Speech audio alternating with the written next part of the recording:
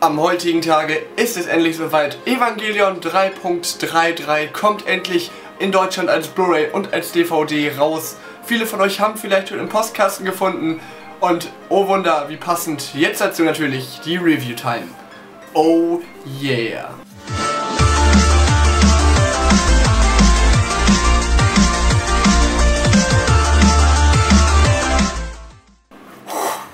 Evangelion 3.33 You Cannot Redo ist eine Gainax-Produktion, genauso wie die zwei Teile davor.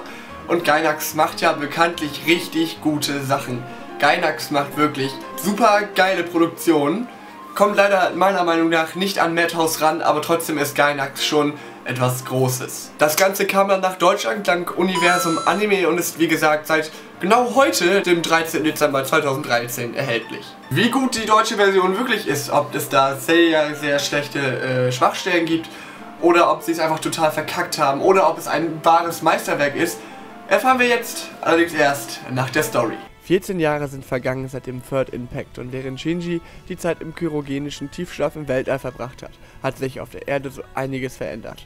Misato kämpft mit ihrer neu gegründeten Organisation Wunder gegen die Engel, während Ikari den Force Impact auslösen will, um Seeles oberstes Ziel zu erreichen.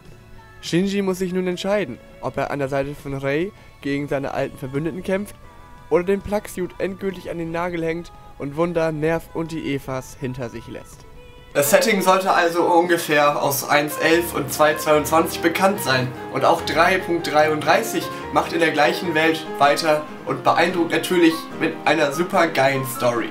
Außerdem haben wir den einen oder anderen Plot-Twist, den ich persönlich mir hätte nicht vorstellen können. Einfach für das Gesamtbild und einen weiteren Storybrocken in unserer Evangelion-Reihe gibt es von mir die volle Punktzahl 5 von 5 maximalen Punkten. Animation, atemberaubend. Allein durch äh, das Setting sollten sich super geile Schauplätze realisieren lassen. Und die gab es tatsächlich auch. Die Schauplätze in Evangelion.